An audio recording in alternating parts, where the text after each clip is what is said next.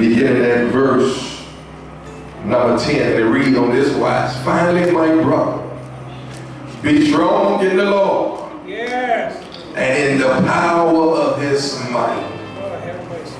Put on the whole armor of God. That ye may be able to stand against the wiles of the devil. For we wrestle not against flesh and blood, Come on here. But against principalities, against powers, against the rulers of the darkness of this world, against spiritual wickedness in high places. Wherefore, take unto you the whole armor of God, that ye may be able to withstand in the evil days, and having done all to stand. And everybody say amen. God bless you. You may be seated in the presence of the Lord. I'm going to stop right there. You can read the rest of it uh, in your spare time, but I need you to go with me on this morning with this word the Lord has given me. I want to use for a text, fight for the victory. Fight. Somebody say fight. Fight. Somebody say fight. Fight. Fight for the victory. Fight for the victory. How many know that the victory is already ours? Amen. Y'all got. Amen. How many know that the victory belongs to us already? It's, Amen. it's a guaranteed victory. Yes. But there is a place that we all come to that the enemy tried to hinder us of receiving what God have already done in our life. And we have to get to the place and push through it, fight through it, fight for it. Believe a lot of times, brothers and sisters, we lose what God has for us in our life because we give the enemy play. We give the enemy a foothold where we become like sedated and feel as if we have already lost this test or this trial or this battle that we may be in. But we got to have a made up mind that if we down don't mean that we out. We have to get back up and say, I'm going to fight for the victory because there is a guaranteed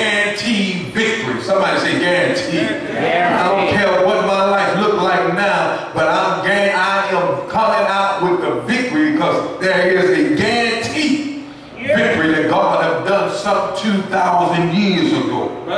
We as the people of God cannot lay down anymore.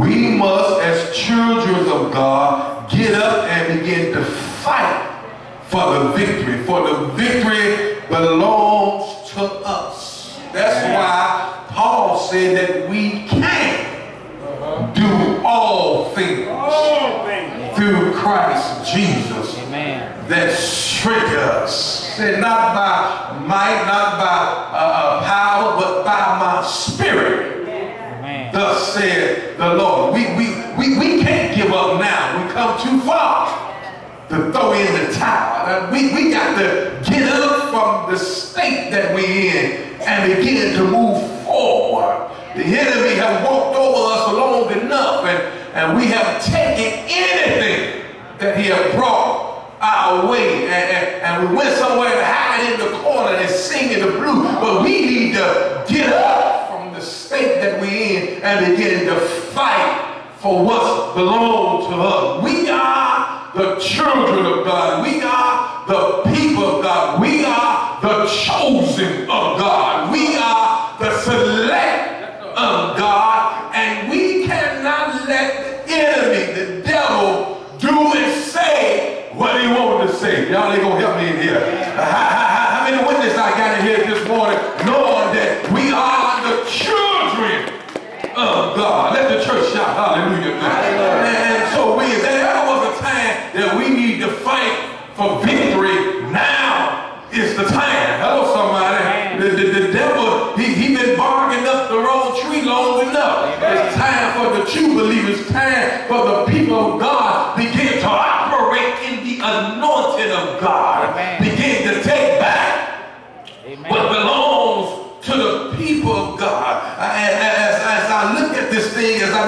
see that the devil is too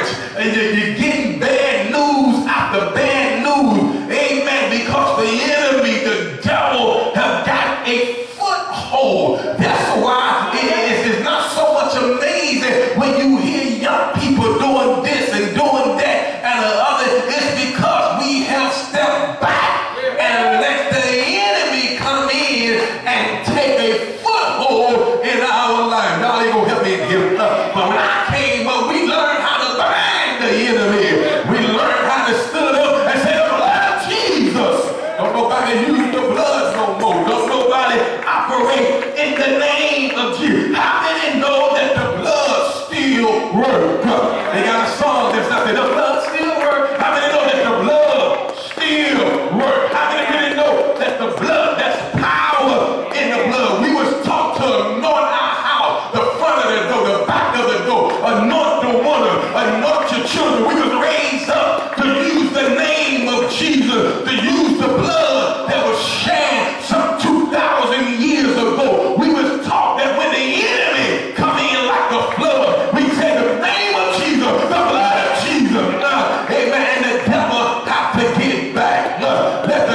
God. Hallelujah. Oh, yeah, I got some fight in me. Hello, somebody. And I refuse to lay down uh, and let the devil do what he wants to do. Yeah, I'm bad. I'm big and bad. You can say whatever you want to say because the Bible says greater is he that is in. Y'all ain't going to help me preaching here. Uh, than he that is in the world. God is on my side.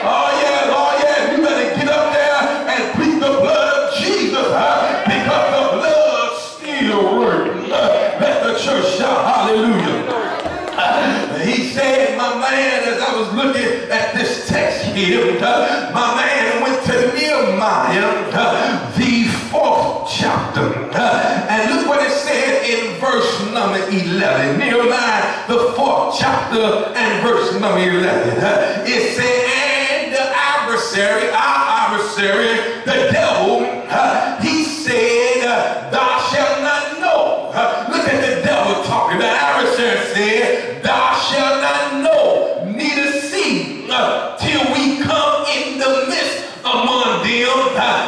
spoon.